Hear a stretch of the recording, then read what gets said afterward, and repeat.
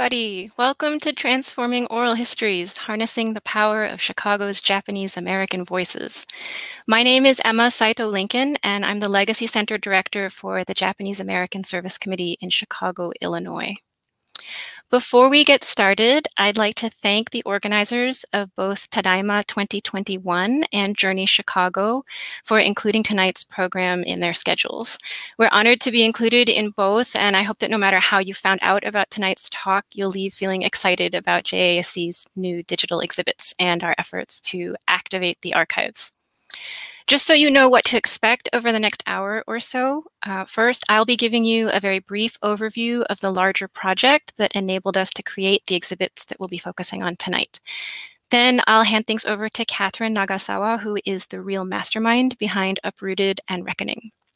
Kat is a former digital producer at WBEZ, which is Chicago's NPR affiliate station. And she's currently working as a digital producer for Full Spectrum Films, which is a Chicago based nonprofit committed to driving equity in the independent film industry and educating the public about important social and cultural issues. After Kat has finished, I'll sum up briefly with some information about the TEACH Act that was passed recently in Illinois. There will be time for some Q&A at the end, so please feel free to type your questions into the chat and we'll address as many as we can. So let's start at the beginning. How did this project come into existence? In 2018, the Japanese American Service Committee had the extreme good fortune of receiving a grant from the National Park Service under their Japanese American Confinement Sites program. This grant funded a collaborative project between my organization, JASC, and the Chicago Japanese American Historical Society, CJAHS. For those who aren't familiar with the NPS JACS grant program, these funds are made available for projects that further the preservation or interpretation of U.S. sites where Japanese Americans were incarcerated during World War II you may be wondering why organizations in Chicago received a grant when there were no incarceration camps here. And to understand that, you have to know that Chicago became a major resettlement hub as people were released from the camps and starting their lives over. Uh, with the population swelling to approximately 20,000 people in the post war years versus less than 400 people of Japanese descent in Chicago prior to the war. To this day, the Japanese American community in Chicago has roots throughout the West Coast military exclusion zone and reflects experiences at all of the former incarceration sites. Uh, next slide. There were many aspects of the grant project that we will not have time to go into tonight, but to give you some sense of the scope, I've listed out the key goals on this slide. On the oral history side, it encompassed digitization of pre-existing recordings, transcription, recording a substantial number of new interviews, and making content more accessible online. Additionally, the grant funded the two digital exhibits that Kat will be talking about, as well as curriculum development and teacher training workshops to enhance teachers' ability to incorporate this history into their classrooms. I do want to take a moment here to acknowledge the incredible work of our grant collaborators at the Chicago Japanese American Historical Society. In particular, Jean Mishima and Marlin Nishimura, who put countless hours into developing a comprehensive curriculum on Japanese American history. Despite the challenges of the pandemic, they were able to pivot from the original workshop plan and delivered two virtual teacher trainings this spring that were very well received by an audience of more than 50 teachers. Next slide, please. To provide a little more detail about JASC's oral history project, it's important to note that the interviews recorded as part of this grant were actually a continuation of a project that began in 2017. The interviews began under the direction of Anna Takada in conjunction with an exhibit called Then They Came For Me, which was held at the Alphawood Gallery here in Chicago. In 2018, Anna and the Oral History Project moved from Alphawood to JASC, and the grant we're discussing now began that summer, so summer of 2018. Altogether, interviews with over 100 uh, individuals were recorded between 2017 and 2021. And if you're not familiar with the terms Nisei, Sansei, and Yonsei, those are the Japanese language terms for second, third, and fourth generation. As with so many things, We owe a debt of gratitude to our partners at CJAHS for helping Anna identify potential interviewees, and should also note that her work was, of course, informed by the earlier Regenerations Oral History Project led by the Japanese American National Museum, with CJAHS as their regional partner in Chicago. The Chicago Regenerations team included Jean Mishima, uh, Mary Doi, Alice Murata, and others and their work from the late 1990s sets a very high bar for those of us working in the oral history arena today. And with that, I'll hand things over to Kat to explain how she navigated from raw oral history interviews to the incredible multimedia sites she has produced for us. Awesome. Thank you so much, Emma, for giving that context on the Oral History Project. Um, so today I'm going to go into depth about the process behind developing Uprooted and Reckoning, which were the two interactive websites um, that I built as part of that larger grant. Um, so for Uprooted, it was to build upon the oral history project that Anna had um, started and develop an online exhibit that teaches Japanese American uh, World War II incarceration history as well as resettlement to Chicago. And sort of the two guiding questions for this exhibit that we hope to answer were, you know, how did the experience impact people's identities, not just their personal identities, but also um, on their family members, their kids, grandkids, great grandkids? And then also, what can we learn from this story about larger issues of racism, immigration, um, civil rights? Um, we wanted to make sure that history was taught in a way so that students could make um, larger connections between incarceration history and um, current issues. Um, next slide, please. So we started with our um, key audience. Um, I have a background in journalism, and so does our web developer, um, Paula Friedrich. And a lot of times when we're reporting a story, we ask ourselves, you know, who is the intended audience for this story? And uh, for this particular project, that audience is Chicago history teachers. We really wanted to start the process by going to them with some questions about how they taught history, when students are most engaged in history, and then also some practical considerations um, around uh, classroom usage that would help inform the experience. Um, so we um, put out a Google Form survey to Chicago area teachers and conducted some in-depth structured phone interviews with several of them, um, making sure that we had geographic diversity from all parts of the city as well as the suburbs. Um, some of the questions that we asked were around their teaching approach for history. So what are the main uh, teaching tools do you use? Uh, which ones have been most effective in your classroom? Uh, when are students most bored in your class and when do they seem most engaged? Um, and then also, you know, have you used personal narratives or oral histories in your classroom before? And if so, you know, what examples can you provide and what format did you use to teach them? Um, we also asked some technical questions around, you know, if you're using multimedia or a web experience in the classroom, uh, what parts uh, work really well, and then also what parts are annoying or, or difficult to use. Um, and again, you know, as I mentioned, some of those practical constraints, we had to ask people on average, how much time would you be willing to dedicate um, realistically to World War II incarceration in your classroom? And also, what kind of technology resources do students have access to? With the pandemic, though, you know, digital access became much more widespread, and so access to Wi-Fi and laptops was less of a concern. Um, if you go to the next page, um, you know, some of the insights from those interviews, uh, firstly, in CPS, which stands for Chicago Public Schools, US history is generally taught during the junior year of school, and there actually is no standardized US history curriculum. So everyone can create their own curriculum based on what um, they want to teach or what textbook their school uses. Additionally, all CPS schools should have Wi-Fi connection and laptop carts accessible for teachers to um, borrow out for their classes. Um, in terms of time frame, most classes are around 50 minutes long, so anything we designed would have to fall within that 40 to 45 minute range to give teachers a little buffer on each end. Um, and then as for teaching responses, um, overall, the themes that came through in the interviews were that students respond best to personal narratives, um, especially if it's from somebody who's around their age and is very relatable to them. Um, multimedia was also a huge plus. Students enjoy interacting with different mediums, whether that's audio, photo, video, etc.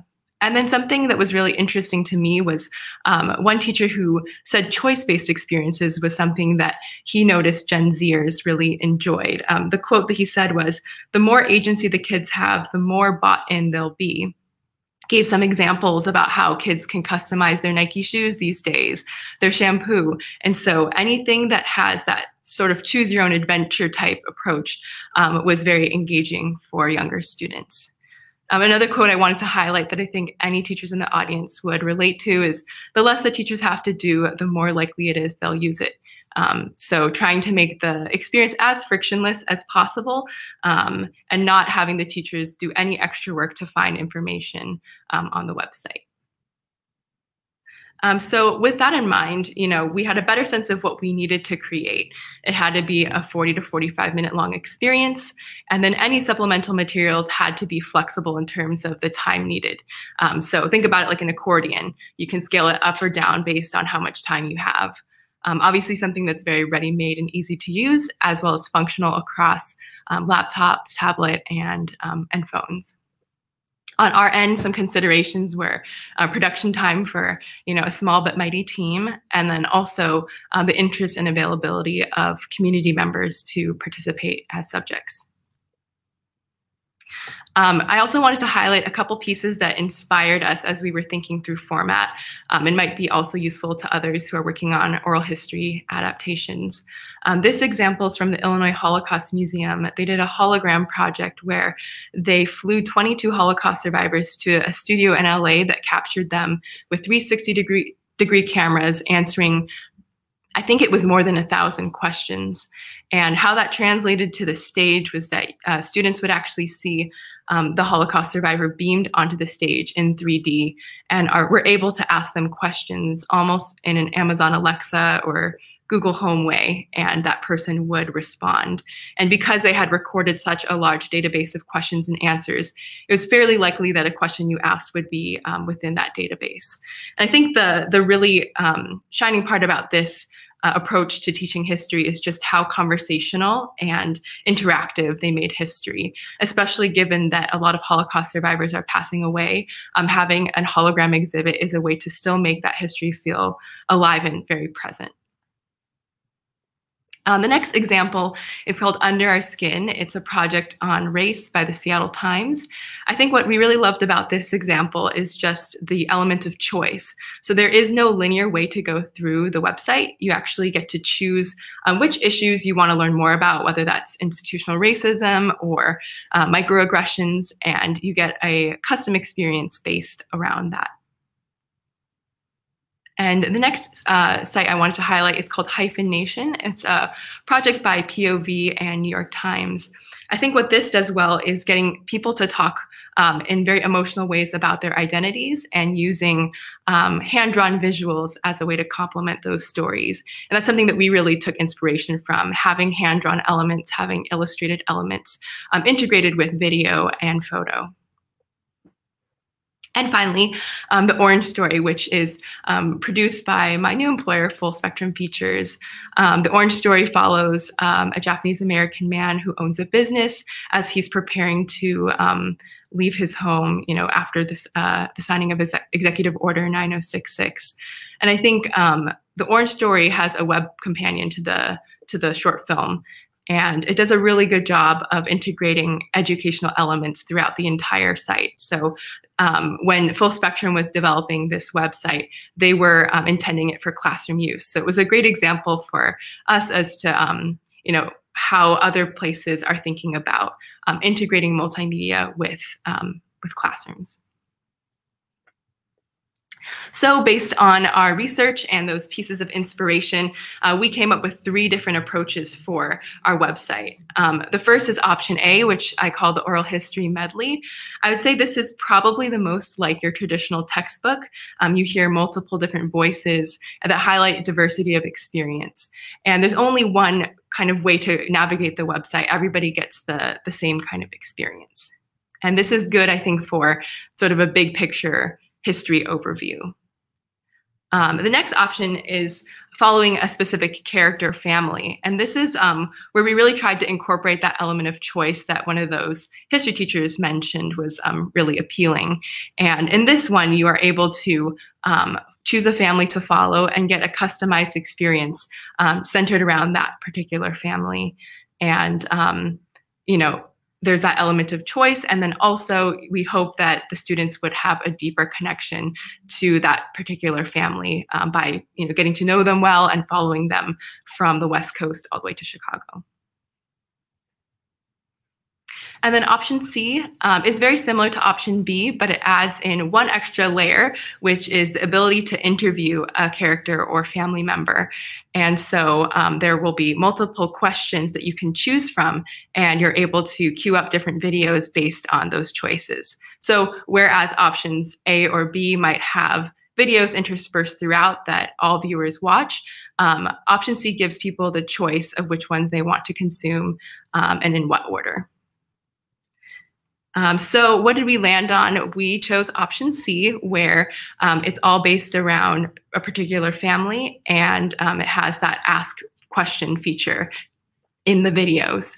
I think the pros of this uh, this approach is being able to, like I said, develop a deeper connection with a particular family and having those multiple levels of uh, choice and interactivity built in. I think one of the cons is, you know, not getting the breadth of experience that you would in an option A. Um, but given the time constraints, we felt that um, it might be best to go narrow and deep first and hope that students are really engaged with these families and that leads them to um, exploring the larger oral history collection from JSC and CJAHS. Um, one, of the one other thing we were worried about with this format was, um, you know, if we're focusing so much on family stories, will we um, not get the historical context that's really important for learning World War II history? And so how we tried to solve that was really being intentional about weaving the historical context into all of the family stories, and then also using key terms and supplemental resources as a way to um, expand on any gaps that we had. Um, the next step in our process was um, selecting families to participate. And this is where I relied really heavily on Anna Takada, who is the oral history project lead. Um, she had experience interviewing literally dozens of older Japanese Americans in Chicago over the course of multiple years. And so she had thought a lot about, you know, persistent themes that came up, things that would feel representative of, you know, that breadth of community experience, since we weren't going to be able to do that um, in this approach. Um, ultimately, that led us to three individuals, um, Minoru Imamura, Chiyoko Omachi, and Kazuo Ideno. And Anna chose them based on a couple factors. You know, some of them were age at the time of incarceration, uh, gender, also um, comfort level with speaking, and um, interest in sharing their story uh, more broadly in a public sense. Um, and she also was thinking about some core themes. So for Minoru Imamura, um, the theme that she felt his story really captured well was military service during World War II. Um, he was part of um, an army an army unit that practiced with uh, that trained with the 442nd although he did not end up serving in the 442nd he trained as um, a replacement for the 442nd and he also his story also really hits on the very controversial loyalty questionnaire that was administered in camp. Um, Chiyoko Omachi, um, her story really represents the experience of somebody who left um, camp early for student leave. Um, this is an early leave clearance that was granted to uh, younger Japanese Americans to complete high school and college in the Midwest and on the East Coast. And then Kazuo Ideno, um, his family experienced um, family separation when his dad was taken to a Department of Justice camp um, because he was a kendo instructor in um, San Francisco's Japantown. Um, Kaz's story also touches on the resettlement community on the south side of Chicago. Um, his family ran a Japanese American boarding house. Um, so these are the surface level themes, but as I had um, time to get to know all of these individuals, there became underlying themes that um, that kind of came through the cracks. And I hope that these themes also come through in the final stories. Um, for Min, you know, that would be using pilgrimage to the former uh, that he was incarcerated at as a form of remembrance and healing for his family. For Chiyoko, that would be using um, you know, her voice and also the written word um, to tell other people about the Japanese American story and fight to protect civil liberties of other communities. And then for Kazuo, there was a lot of loss of Japanese uh, language and culture that he experienced due to the intense pressure he felt to assimilate uh, once he was in Chicago. And this was all a result of that incarceration and resettlement experience. Um, so once we had our three main subjects, um, I was mapping out the stories um, using those oral history recordings that Anna had done. So um, she had done very long, extensive oral histories with each of those grandparents, and that helped me informing a timeline of their lives and also a thematic map for uh, follow-up questions or things that we could explore further. Um, and the way that I divided up the, the stories is into five chapters, where the first three chapters really focus heavily on the grandparents' experience um, living on the West Coast before World War II, um, their experience with forced removal and incarceration, and then their resettlement to Chicago. And then chapter four and five would focus more on the children's and grandchildren's experience for growing up in Chicago. Um, the fun part was next, um, conducting video interviews and spending time with all of these families. Um, because of the specific format we were doing with the question and answers, um, I re-recorded video interviews and used a green screen um, and had each of the subjects talk directly to the camera. And the, the thought behind this is to um, make it as immersive as possible and as conversational as possible. So when you see the final videos, it should look as if each person is talking directly to you from within the web page. Um, so these are the Idenos. Um, I actually didn't include every family member that I interviewed in the final piece, but every interview I did was really instrumental in giving me a sense of the family story. And um, the interviews that were not included in the final piece will still be part of that larger oral history collection that will be available online. So those are the Idenos. Uh, second family is the Imamuras with Min in the middle, um, his two daughters, Carrie and Gail, on top, and then two granddaughters, Annika and Kara, along the bottom. And last but not least, the Omachis, uh, Chiyoko on the left, Teresa in the middle, and Chris, the grandson, on the right.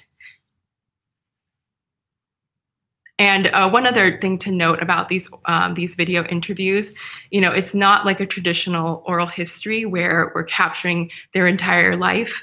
Um, a lot of the focus of these video interviews was very specifically trying to get at some of the themes that you know I had mapped out in those um, the slide with the chapters. And so in these interviews, I tried to focus more on the emotional experience of incarceration and resettlement as opposed to getting all of the details because um, my thought was that we could accomplish some of the details and information in the tech the story text, um, but the videos would be the most effective medium for conveying anything that um, is related to an emotional experience. Um, another element to the um, the process of producing this was gathering a lot of personal um, family archival photos um, from each of the families and pairing that with historical photos that gave a little bit more of that context. Um, so here's an example from Chiyoko's story. Um, she has this beautiful family photo of her dad who worked um, in a Japanese shipbuilding um, facility on Terminal Island on the left. And then on the right, you see a historical photo of the FBI roundup on Terminal Island after um, Executive Order 9066 was um, signed. Um, another example comes from Kaz's story. There's a really cute photo of him and his younger brother sumo wrestling at Crystal City, um, which is a Department of Justice detention camp in Texas. And on the right, you see a historical photo showing an aerial view of that same camp. And um, Thirdly, uh, this is Min and a couple of his friends um, at Camp Amache, located in Granada, Colorado. And on the right, you see um, a larger, wide photo of the rows of barracks at that camp. And I think um, this pairing really helps place Min, Chiyoko, and Kaz uh, within the historical context while still maintaining the fact that this is a personal story. Um, but I think that, um, you know, that personal element was really important to keep as a through line throughout. And um, yeah, yeah, exactly. Building on that, you know, I think that the personal photos that we did collect are irreplaceable and um, do a really great job of um, making students really feel like, you know, this is somebody's childhood or this is somebody's life. This is not just a, a textbook or something that's abstract. Um, you know, here are some photos from Kaz's childhood in Chicago. On the left is his mom and a couple of the um, boarders from their boarding house, just hanging out on the shore of Lake Michigan in Jackson Park. On the right is Kaz and his baseball team, which uh, mostly consists of other Japanese American teens who resettled to Chicago. Um, later on in Kaz's life, he studied to become a teacher at University of Illinois at Chicago. So on the left, you see him with his classmates. And then on the right, you see his daughter, Karen, growing up in the suburbs celebrating her birthday. And finally, um, Kaz's grandson, Ryan, grows up going to the Obon Festival with his grandpa in Chicago. And on the right, you see the two of them volunteering at the Ginza Festival, which happens every summer at Midwest Buddhist Temple. Um, so these all just add so much more depth and um, you know dimension to the stories, being able to um, see Kaz grow over a lifetime and then also get to meet his family. Another element of um, producing this piece uh, was developing a visual identity for it. And we had the um, great privilege of being able to hire an illustrator um, to actually help us with illustrations and artwork for this project. Um, so we worked with Corey Nakamura Lin. Uh, she's a Taiwanese Japanese American um, artist who grew up in Chicago, and her story actually um, mirrors a lot of the stories that um, we focus on for Uprooted. Um, her family resettled to Chicago after World War II, and her grandpa was actually incarcerated at the same camp as Min. They actually knew each other. So I think for her, this project was very personally meaningful, and she brought a lot of her own lens and her own family experience to conversations around visuals, which I think made them so much stronger. Um, so some questions that we were considering um, in the early conversations around visual identity is, you know, just how can visuals help us really reinforce some of those main themes we want students to take away? Um, and also how can visuals convey parts of stories that we don't have photos for, where we have gaps in visuals for? I think after discussing this, um, Corey landed on um, visuals that were Japanese inspired, um, colorful, very hand drawn and textured. Um, so here are a couple examples um, for each of the characters of sort of visual motifs that we came up with. Um, for Min, you know, broccoli fields. He uh, left a broccoli farm in Anaheim um, when he was going to camp.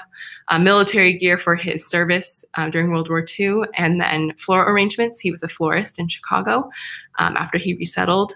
Uh, for Chiyoko, you know, she grew up on Terminal Island, so um, there was a lot of visuals around surfboards, the ocean. Um, she also uh, was a journalist and also a storyteller, so sheets of paper to represent her interest in writing. Um, and then Kazuo, you know, a lot of his story focused around um, how incarceration changed his relationship to Japanese culture, whether that be kendo or calligraphy. And so we were um, kind of playing around with concepts of barbed wire and um, different cultural elements. Um, so here's an example for how um, Corey translated some of these ideas into actual visuals for Chiyoko's story. Um, she did a beautiful portrait of her based on a photo, and then she um, pulled these themes of ocean, writing, civil liberties into um, small illustrations that are featured throughout the story.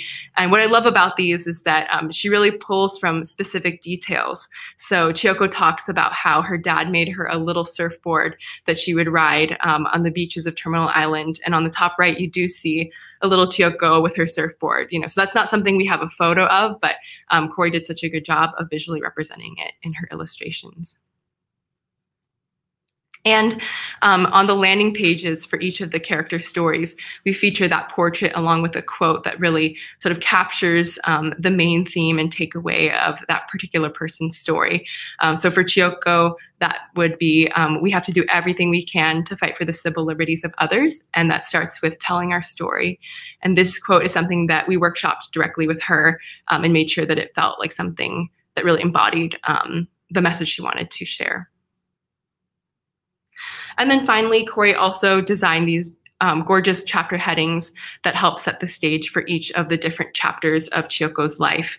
Um, so if you look at the top left, you know, she's leaving her home in Terminal Harbor or Terminal Island in California. Um, in chapter two, at the top, she arrives in Poston and um, ends up starting a student newspaper to report on teen life and camp. Um, on the right, she actually takes early leave to finish high school on the East Coast and gets in an argument with her principal about whether she is black or white. And she consistently pushes back, I'm neither, I'm Asian, um, which I think really represents, I think, her personality and her persistence. Um, that's a through line in her life. Um, and then in the bottom, um, you see her passing along a civil rights book to her daughter. This is the chapter that really focuses on Teresa, her daughter's story, and Teresa's experience as a lawyer, uh, focusing on constitutional law, which is inspired by her mom's work. And then finally, at the bottom left, you see Chiyoko speaking to the middle school of her um, granddaughter or grandson, um, Chris, and his ex his experience um, seeing his grandma share her story. Um, something else I wanted to highlight um, before I demo the site is just how we were thinking about building in educational elements um, and providing some of that context that I mentioned earlier. Um, so, so uh, one way we did that was through key terms and definitions. So if you hover over certain terms, um, it'll actually show you a definition.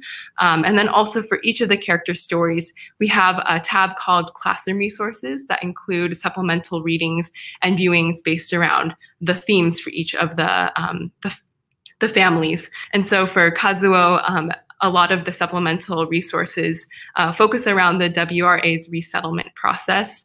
Um, for Chiyoko's, um, a lot of it focuses around the Civil Liberties Act of 1988 and the redress movement. And then for Min's story, um, the supplemental materials focus on the loyalty questionnaire and um, different um, aspects of military service during World War II, whether that's the 442nd, um, draft resistors, or uh, the No-No Boys. In addition to this, oh, if you go back one slide, we also held those two teacher training workshops um, this past spring that feature the larger um, CJAHS curriculum, which includes a chapter on Uprooted. Um, and this was led by Jean Mishima and Marlene Nishimura. And this actually goes much broader than the scope of Uprooted. It starts with the roots of anti-Asian legislation um, pre-World War II, and then it goes all the way to the present, making connections. Um, and so Uprooted is intended to sort of fit as the middle chapter of that larger curriculum. Um, so finally, putting it all together, um, we're going to do a quick walkthrough of the site. I think Emma might also link to the site in the chat so people can uh, peruse at their leisure.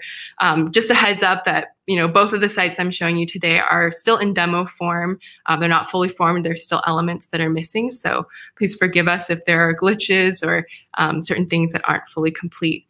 Uh, but if you want to just click begin, um, there is an introduction where you get to meet those three individuals, learn a little bit about Executive Order 9066 and the forced removal, and then learn about resettlement to Chicago and actually get to see the family members that you can explore. So once you click follow family, it takes you to the choose page, and this is where um, students are able to pick which family member they want to follow. Um, it also includes a little bit of a tease of what the stories are about, as well as the ability to quote unquote meet their families. If you click on that button, um, you see each family member and learn a little bit more about which generation they are. And um, if you click read Chiyoko's story, um, I'll just do a really brief walkthrough. Here you see that um, beautiful landing page that Corey designed. And then you start at that first chapter where Chiyoko is living on Terminal Island as a teenager and World War II starts. Um, so it's a combination of her family photos, discussion questions, key terms, historical photos. And at the very end of each chapter is where you have the ask feature. And so Chiyoko looks like she's kind of waiting for you to ask her a question. So students can choose between those different questions. Maybe we'll do um, what was it like growing up on Terminal Island, and you can hear from her. Well, it was just the beach and uh, uh, the roaring of the sea, you know. And at night, you could, on moonlit nights, it was very romantic, I think. Um, and we would sit up there and sing songs. um, a very, uh, a very lovely childhood, I think. It's too bad, you know, we couldn't have grown up there. It was disrupted and we had to leave because of the war. but I uh, I often think I go back to those days and I think that was a very lovely place to be, you know. Cool. And then she goes back to waiting for you to ask the next the next question. Um, and then as you go through the full story, you know, chapter two and three focuses on Chiyoko, and then chapters four and five focus on her daughter Teresa and her grandson Chris. Um, so I know we don't have a ton of time, so um, I'll let you all explore this um, at your own leisure later on. Um, but that's a little preview of it. Um, next, I am going to talk about the process for developing Reckoning, which was the second um, web experience that was part of that larger oral history grant.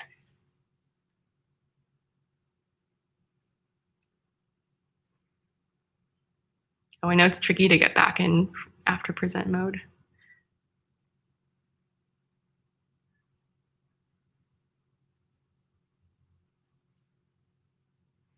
I think if you go to the slide before that, awesome. Okay, um, so uh, for this particular exhibit, you know, it was a pretty similar goal. It's a teaching tool, um, but focusing on the Chicago Japanese Americans' role in the fight for redress and reparations in the 1980s.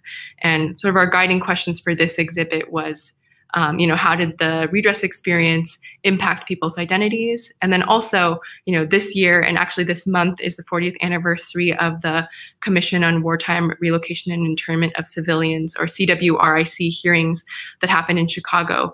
Um, it's the 40th anniversary. And so on this anniversary, reflecting on um, the redress movement, what can we learn from that story about other movements for reparations and social justice today? So, kind of maintaining that link to other communities and other issues. Um, very similar to Uprooted, you know, we had similar classroom constraints for time, um, also wanted it to be as seamless and easy to use as possible. I think with this particular history, because it is very specific um, and not related to World War II incarceration as directly, um, we're imagining it might be used more often within a college context, um, maybe within a civil liberties class or an Asian American studies um, classroom as well. Um, same considerations for making sure it's functional across devices and thinking about uh, time and participation. Um, when we were thinking about format for this one, we came back to those three options that we had come up with for Uprooted. Um, I think for the redress story, it seemed to not really fit that same multi-generational family focus that worked really well for Uprooted. Um, but when we were thinking back onto the oral history medley, it seemed to be a better fit for that since you know there are multiple perspectives on the movement as, as opposed to having one particular narrator throughout. Um, so we ended up taking this approach where um, we featured multiple voices and a combination of photos, text, um, archival elements, etc., um, to provide a bigger overarching history view. Um, so mapping out the story, I spent a ton of time digging through the archives at JASC and um, JACL Chicago's office. Um, there were a lot of personal documents, um, letters, newsletters um, that were really helpful in piecing together the story. Um, I also wanted to uh, shout out the Northeastern Illinois University archives because um, they recently made all of the videos and transcripts from the CWRIC hearings available on their Digital Commons website. And that was absolutely essential to doing this work, uh, being able to actually watch um, those testimonies and read the transcripts. Um, they're a really powerful set of um, videos, and I encourage anybody who's interested in redress history, especially local redress history, to check them out. Um, so as you know, I did a lot of research and reading. Um, I sort of came up with five chapters that would um, span, you know, the early, the earliest interest and movement for redress and reparations, all the way up to um, the Chicago Japanese American community's role in racial, uh, racial justice and reparations movements today. Um, so with this, I really wanted to be able to tell that larger redress story, but localize it to Chicago um, because that was, um, you know, the purpose of the grant to uh, really highlight Chicago voices and the Midwest perspective on this history. Um, so that next step was um, selecting speakers. Um, you know, one caveat is that you know many many people were involved in the national movement for redress, um, but I specifically focused on Chicago voices for the purposes of this exhibit. And secondly, you know a lot of the people that I had hoped to interview have um, unfortunately passed away. So um, I went with people who were um, still in town and available and willing to speak. Um, one of those main voices um, is Bill Yoshino, start on the left. Um, he was the Midwest director um, of the JACL during the redress years and for many decades afterwards. And he was very crucial in this um, formation of the exhibit, you know, in speaking to the larger um, campaign strategy for redress in the Midwest and how it was executed. Um, Ross Harano was another voice featured. Um, he was involved in JACL Chicago, and he was also very active in Chicago and Illinois politics. Um, I think he really did a good job speaking to some of the lobbying that was necessary, as well as um, interracial coalition building efforts um, that were really necessary for getting uh, general buy-in uh, from the public for redress and reparations. Um, another voice that um, is featured is Mary Sampson. Um, she's a member of the NCJAR Chicago chapter. This was another organization that uh, grew in addition to JACL Chicago that was advocating for redress. Um, NCJAR actually took more of a judicial approach, so they filed a class action lawsuit as opposed to pushing for for redress legislation. Um, and so Mary really speaks to um, the motivations for that lawsuit. And then finally, um, there are a couple other voices featured. Um, I know I said that not all of the people I wanted to interview um, were alive, but luckily um, the work of other oral historians and historians really helped um, in this process. So Chie Tomihiro um, is one of those people. She was the chairperson of the Chicago JACL chapter's redress committee. She was also a former JACL Chicago president who really led the witness recruitment process and spoke very um, directly to the hearings experience. Um, so I was able to find um, an oral history with her through Densho, which is an online repository of archival material around Japanese American history. And so um, I was able to feature her voice, even though she has passed away. Um, and then the last two voices that are featured are Jane Kaihatsu, who was the JACL chapter president during the redress movement years. Um, she, re she really spoke to the impact of the movement on the Japanese American community's ability to kind of share and educate the larger public about incarceration. Um, and then finally, Lisa Doi, who is the current JACL Chicago president. And Lisa spoke a lot to how uh, the community today is making connections between um, World War II incarceration history and broader patterns of racial injustice.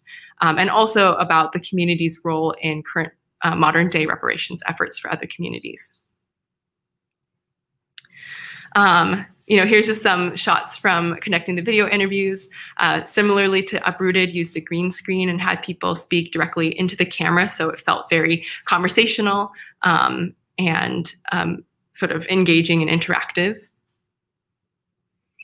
And then also similar to Uprooted, I think that combination of personal photos and historical photos really help tell that local history and make it feel more personal. Uh, so one thing I really wanted to highlight on the left is um, a screenshot from a video of one of, I believe, the earliest Chicago pilgrimages to the former sites of Jerome and Rohwer incarceration camps.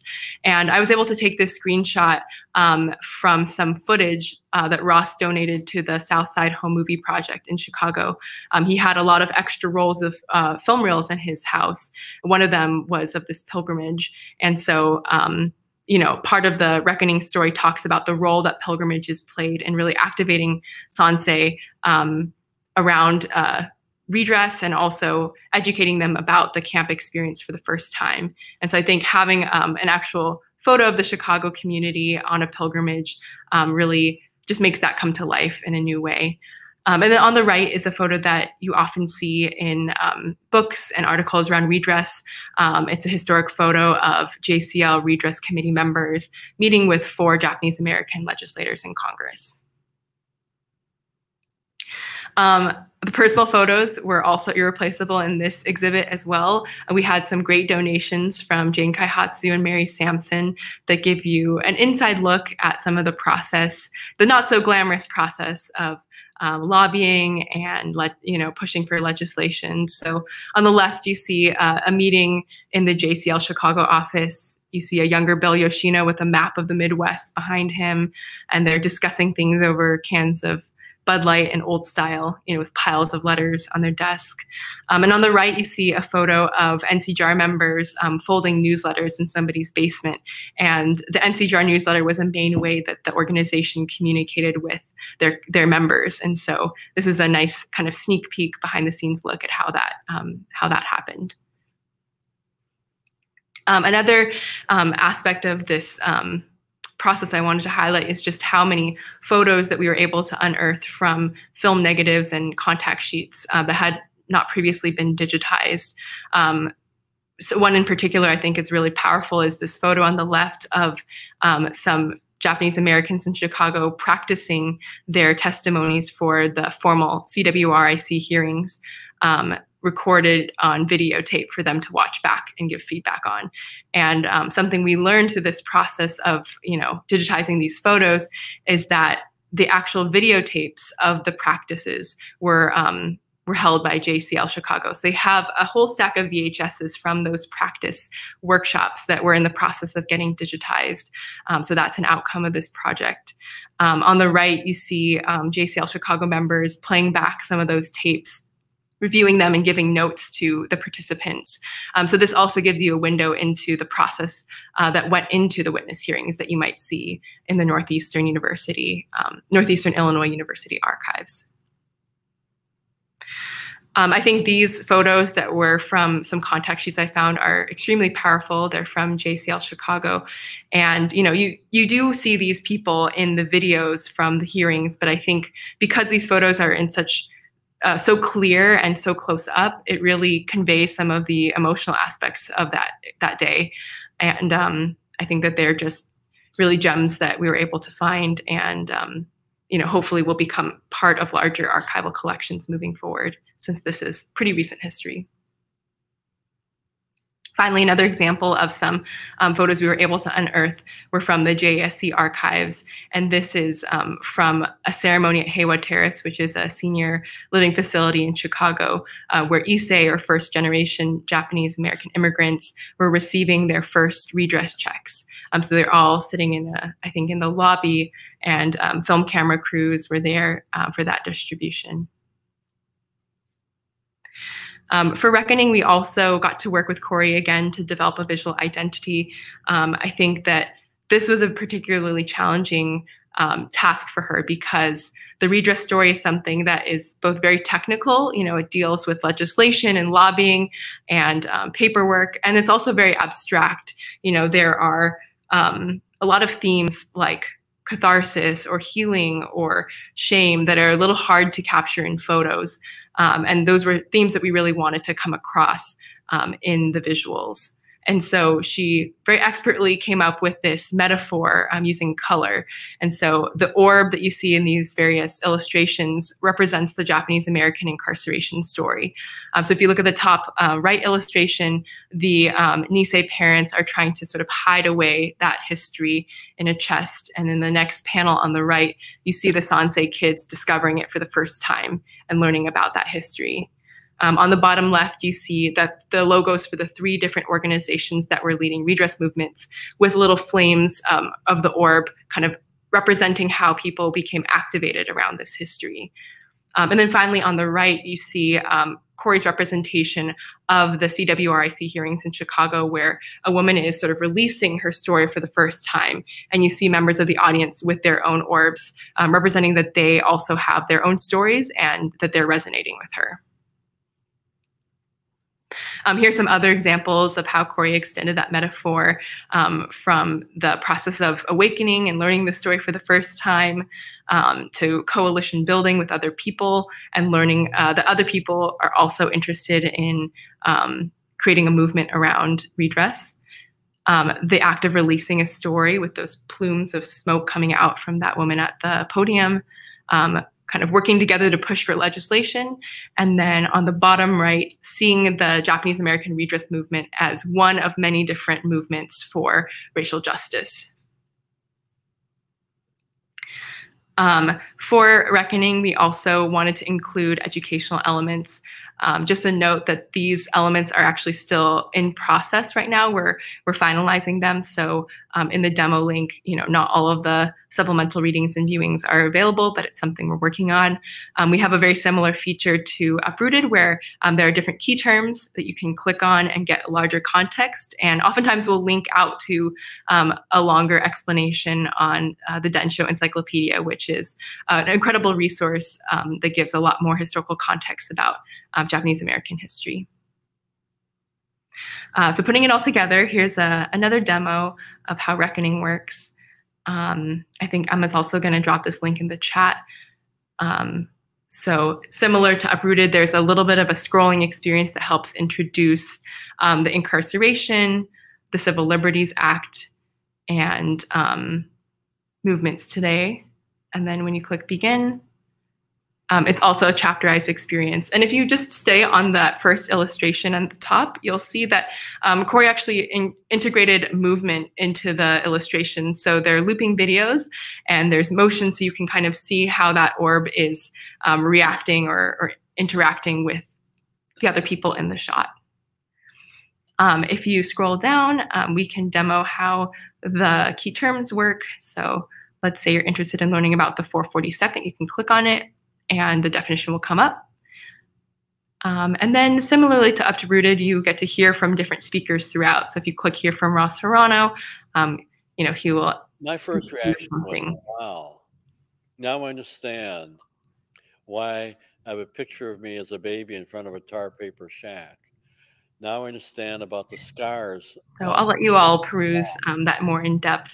Uh, but just know that this is still a demo site, so not everything is finalized. Even the text isn't completely finalized at this point.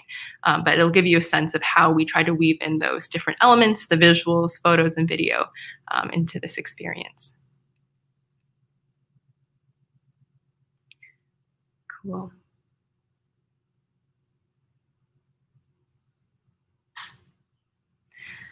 Um, so I think um, now I might pass it off to Emma, who's going to talk a little bit more about legislation around teaching Asian American history in Illinois um, that actually is very recent and happened this past summer. Thank you, Kat.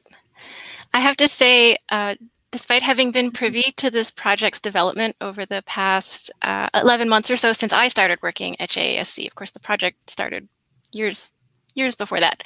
Um, it's still so wonderful to see Uprooted and Reckoning in their finished or nearly finished forms. Uh, but now we're getting short on time. And to cap things off, I'm going to highlight a very recent development. Um, sorry, I'm trying to get the right links into the right places for you. Um, development in Illinois that is especially relevant to Kat's amazing work. For those of you outside of Illinois or perhaps less connected to the Asian American community in our state, you may not know that just this summer a truly remarkable thing happened. And uh, the Teaching Equitable American History or TEACH Act, HB 376, was introduced this year, 2021, in January. It passed both houses of the Illinois legislature in May, and it was signed into law on July 9th. This major success was due in large part to the efforts of a group called Asian Americans Advancing Justice Chicago and a broad coalition of organizations that came together to rally support for the bill. JASC, CJAHS, and the Japanese American Citizens League Chicago chapter were among the many members of that coalition. Next slide, please. So, what does the TEACH Act do? And this act amends the Illinois School Code to require that a unit on Asian American history be taught in all public elementary and high schools across the state. It specifies that this must include the history of Asian Americans in Illinois and the Midwest. The stated intent of the new requirement is that the studying of this material shall constitute an affirmation by students of their commitment to respect the dignity of all races and peoples and to forever eschew every form of discrimination in their lives and careers. The TEACH Act comes into effect during the 2022-2023 school year, and this means that teachers, many of whom were never taught this history themselves, will need to very rapidly acquire appropriate tools and resources to use in the classroom. To some extent, they can turn to high quality national resources, such as the lesson plans available from PBS based on their Asian Americans documentary series, um, or from other Japanese American or Asian American national level organizations. However, in order to teach about Asian American history as it has played out in Illinois and the Midwest, they will need resources like Uprooted and Reckoning, not just from the Japanese American community, but also from the many other Asian American communities that call Illinois home. And I think you'll agree with me that as Kat has demonstrated, it takes a tremendous amount of time and effort to create these types of resources, but the need for them has never been greater, especially in Illinois with this new legislation. And you can see from this slide, uh, we have many, many, many people and organizations to thank for their contributions to this project. And apologies to anyone that I've missed. I'm fairly new to the project myself, uh, and I missed out on the first two years of its development. So I do apologize if your name should be on here and it isn't. And I should also thank Kimiko Mar and Carolyn Kimura, who have been helping us today um, on behalf of Tadaima to, to run kind of behind the scenes for us to keep things running smoothly. So we don't have a huge amount of time left, and I don't believe I've seen any questions come through yet on the chat. If you do have questions for us, you can go right ahead and type those into the chat box on YouTube. I know that I was having a little bit of difficulty earlier with posting, so I had to hand off the links that I was trying to post to someone else to get them up there. So I hope that's not happening to our audience. But Kat, while we wait to see if anyone does have questions for you, oh, here we go. We do have a question from Kelly Nagasawa. No mm-hmm. relation, I suppose. what was the most challenging part about each project? Ooh, good question, Kelly. That's my sister. Um, I think for Uprooted, one of the challenging parts was um, the fact that it is a multi generational story. And so, you know, we're trying to capture not just the stories of the Nisei or Sansei, but also Yonsei Gosei and subsequent um, generations. And I think that it was, you know, challenging and inspiring to be able to try to weave all those themes together. And, you know, obviously when you walk into a project like this, you don't know what the underlying themes are. You don't know what you're going to find and pull out in the story. So you have to sort of take a leap of faith in working with the families that um, different things will come through and uh, be translated into this story. So I think just trying to make sure that those themes were consistent and um, woven through was challenging. I think for um, Reckoning, one of the challenges actually was because it was such recent history, a lot of the ar archival materials weren't actually readily available in different institutions that you might normally go to, um, like libraries and museums. Um, a lot of the archival material that I ended up finding was in people's basements. It was, you know, boxes of papers that their mom had um, saved and, you know, the kids hadn't thrown away yet. And so um, kind of going through that almost like a treasure hunt process of trying to go into personal archives and dig through things that hadn't really been cataloged yet was um, time consuming, but also really rewarding as well. And we should add that in a few cases, some of those folks were ready to relinquish some of those materials and mm-hmm. um, and have them transferred into an archives like like our JASC Legacy Center, where they can be cataloged and, and made accessible. But for some families, they, they weren't ready yet. That these are very personally important materials, and um, I know my institution deeply respects that. That we don't we don't push for people to give us things, but when they're ready, we are here and happy to make them accessible to researchers everywhere. Mm -hmm. um, I see another question here about the Japanese Latin American experience and whether that is represented in these projects. No, so that experience um, is a super important part of um, learning about Japanese American incarceration history. Um, unfortunately, it isn't a focus of either of the exhibits. Um, although, you know, in doing a lot of research, I did learn a lot more about Japanese Latin Americans um, being incarcerated at Crystal City, which was that the camp that Kazuo's family was um, detained at. And so um, in some of his oral history interview, he talks about being alongside Japanese Peruvians in that camp and people from other backgrounds, including German, uh, German Americans and um, or Germans and Italians. Um, so there are parts of it that kind of overlap, but um, it doesn't go into deep depth around it. Um, one other thing I learned during my research is that um, one of the organizations that isn't, you know, very deeply profiled in Reckoning, it's called um, NCRR, National Coalition for Redress and Reparations. Um, they did a lot of work around working with the Japanese Latin American community to push for redress for for them because that wasn't involved that wasn't included in the 1988 Civil Liberties Act. Um, so that's definitely something that I'm very interested in seeing more um, pieces go deeper into. I'm personally very curious about. And while we give folks a few minutes more, we're coming up on the hour, but uh, we are prepared to stay on. So if you're if you have questions and you're holding back because you think we're coming to the end of time, please feel free to, to get your questions in. Um, but Kat, I was wondering if you have thoughts about what future projects might be in store for you or that you hope JASC or another JA organization might pursue? Yeah, um, I think in doing the research for Reckoning, I just kept thinking to myself how incredible of a feature film it would be to do um, a film about that whole redress process. There's just so much, um, you know, drama to it. There's a lot of um, behind the scenes work that happened um, with political lobbying. Um, there's a lot of community organizing on a grassroots level. So I would love to see a fictional film be made about redress. Um, I don't know if I would necessarily be the one directing it, but I would support them in any way possible.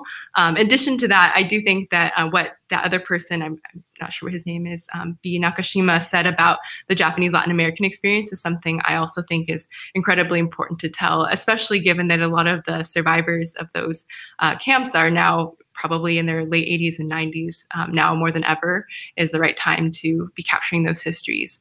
And um, as somebody who, you know, speaks some Spanish, I would also be very interested in um, kind of getting to know some of the Japanese uh, communities in both Peru and Brazil that kind of came up as part of the Japanese diaspora, um, not just about their incarceration during World War II, but just about um, that culture and the, the history of those specific places.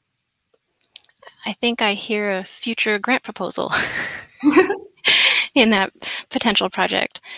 Um, well, we are we are at the end of our time, and I don't see any last questions coming in. So I think we'll bring it to a close. And thank you, Kat, yeah, for giving you. us a, a real peek at the behind the scenes of how you created these sites, but also this is uh, for folks who don't realize this is the first public unveiling of both of these sites. So we really are so excited to have shared them with you. Um, of course, the teachers got to see an earlier draft version of, of Uprooted, but it Uprooted has actually seen several important changes since then as well. So, um, mm-hmm. so you mm-hmm. were the first to see it, and now you have the links to go to both sites, and you can explore on your own. Um, yeah, and I would just say if any of you know um, U.S. history teachers, um, please spread the word to them. Um, a lot of our fall and winter are going to be focused on really getting these out and in classrooms. So um, that is our biggest goal is if it actually gets used um, by students and in front of students. So um, thank you all for your time and yeah. Yeah, so thank you on behalf of the JASC Legacy Center and Tadaima 2021 and Journey Chicago, which is a project of the Chicago Cultural Center. Thank you for joining us tonight. Awesome. Bye.